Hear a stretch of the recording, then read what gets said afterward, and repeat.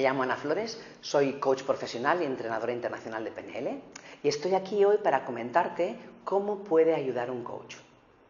Eh, supongo que sabes, yo lo estoy repitiendo en varios vídeos que tengo aquí en este portal, pero es importante porque quiero que para hablar de coaching y del coach que hace esta, esta profesión, quiero que sepas, por si no lo sabes todavía, que para centrarme muy básicamente, el coach es una disciplina que ayuda a las personas a llegar a su objetivo, a su meta, a donde quiera, lo que quiera conseguir. Es un proceso de acompañamiento en el que el cliente es acompañado por el profesional que basado en la pregunta le ayuda a ampliar un poco la, conciencia sobre sí mismo, sobre la realidad y le favorece que encuentre respuestas eh, creativas, soluciones positivas para su situación concreta. Entonces, ¿cómo lo hace esto? ¿Cómo ayuda un coach?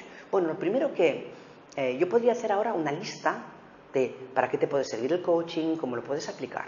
Pero me gustaría más trasladarte realmente cómo hacemos este trabajo. Todo el mundo queda muy claro que hacemos lo que llamamos preguntas poderosas.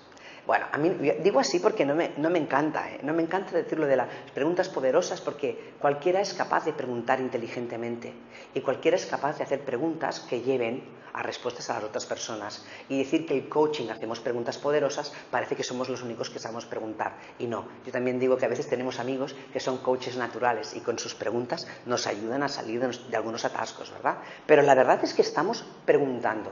El coach pregunta a base de preguntar para que la persona amplíe ese conocimiento, esa, esa visión que tiene de su mundo, ese conocimiento de esa zona de confort en la que a veces nos quedamos limitados por miedo a qué podría pasar allá.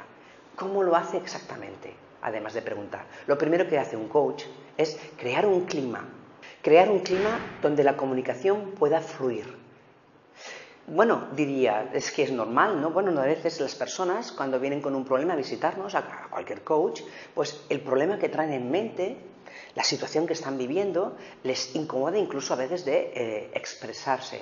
Mira, ayer mismo una clienta me dice, es que me da mucha vergüenza lo que te tengo que contar. Entonces, fíjate, cuando una persona ya consigue decirte, me da mucha vergüenza lo que te tengo que contar, ya hemos hecho un paso en ese clima. El clima es que el coach tiene que hacerle entender de forma inconsciente al cliente, al coachee, que ahí estoy para acompañarle, que ahí estamos en su realidad, estoy contigo en tu realidad, te acompaño en tu mundo donde yo no juicio. No, es como un pecado mortal lo del juiciar. El coach, lo que nosotros hace es adaptarnos y, hacer un juego, como yo digo que es como un baile, ¿no? Con el cliente, favorecer que el cliente se sienta tan cómodo para que pueda explicar eso que le preocupa, eso que le avergüenza. Por tanto, ¿cómo ayuda un coach? Lo primero es creando este clima. Lo segundo es haciéndole mm, saber que no directamente, aunque a veces también me encuentro en el momento de decirle, oye, no te preocupes, dímelo porque yo no te juicio para nada. He oído seguramente cosas que podrían resultar mucho más eh, desagradables para otra persona. No te preocupes, yo aquí estoy para acompañarte, no es mi tarea decir si es correcto o no es correcto. Eso ayuda. Tenemos que hacer llegar la idea al cliente de que no estoy para juzgarla, que tienen completa libertad de expresión, que es un entorno de confianza donde lo que se dice se puede quedar aquí en mi sesión, en mi oficina o en su oficina si estoy en su oficina y que no va a salir de ahí. Además de que el coach firma un contrato, son temas burocráticos. ¿eh? Hay gente que no lo quiere firmar, pero se suele pedir un contrato para que el cliente sepa que es confidencial todo lo que se habla.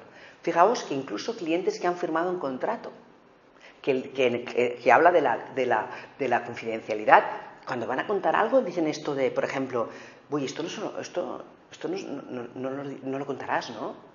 No, esto no lo voy a contar. Es que yo no voy a contar nada. Eh, tu mundo, yo aquí soy una pieza dentro de tu mundo. Y cuando yo salgo de aquí, cuando tú sales de mi oficina, yo ya no estoy más en tu mundo. Y tu mundo yo no lo llevo a ningún otro mundo. Es decir, que es como que me adapto dentro de ese clima para que la persona pueda hacer eso, con esa forma de expresarse libremente y sobre todo que sepan que hay un respeto absoluto. Fijaos que a veces los coaches vienen con un potencial increíble, cosas que yo me enorgullezco de saber ver fácilmente en las personas, de conectar todo ese potencial y cuando nosotros hablamos de que los recursos están dentro de la persona. A veces la persona no tiene la confianza en sus propios recursos y el coach sí la tiene. Todos somos capaces. ¿Qué ocurre? Que tal vez esos recursos que tenemos dentro y que no dejamos aflorar, están como capas de polvo tapando un brillante por todos esos programas, creencias, lo que he hablado ya en otro, en otro vídeo sobre cómo beneficia el, coaching ¿no? a las personas, justamente por eso, porque en el proceso de acompañamiento que hacemos lo que afloran son estas cosas y entonces eso hace que, quitando bloqueos, tenemos herramientas concretas para quitar bloqueos, favorece que la persona conecte con sus propios recursos. ¿Y esto qué genera? Pues genera una confianza y una autocreencia el cliente se va de un proceso de coaching y de cada sesión habiendo ampliado la conciencia sobre su realidad y sobre todo sobre sus posibilidades, sobre sus capacidades. Entonces, este camino que hacemos, nosotros a través, como he dicho ya, de la pregunta, acompañamos a que la persona con cada semana nos venga con novedades positivas. Y siempre desde esta manera que es de la no dirección, la intervención más bien pasiva, más bien de preguntar, de aportar luz y jamás de dirigir nosotros el proceso de cambio. Eso es como ayuda a un coach. Si quieres eh, tener eh, más información sobre esto, puedes visitar mi web o también puedes escribir un correo electrónico si tienes alguna duda y yo te puedo dar, lo haré encantada. Muchas gracias.